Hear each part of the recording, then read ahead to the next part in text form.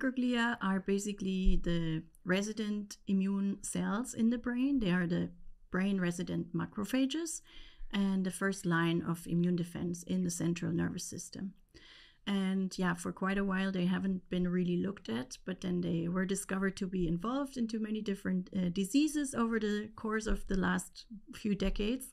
And microglia have basically this role already during development to ensure that um, synaptic connections are pruned in the right way so that we are wired in the right way and then throughout life to maintain homeostasis in the central nervous system in the brain. And they do that by maintaining the brain in, in balance so to say and if any anything happens to the brain such as stroke or um, glioma or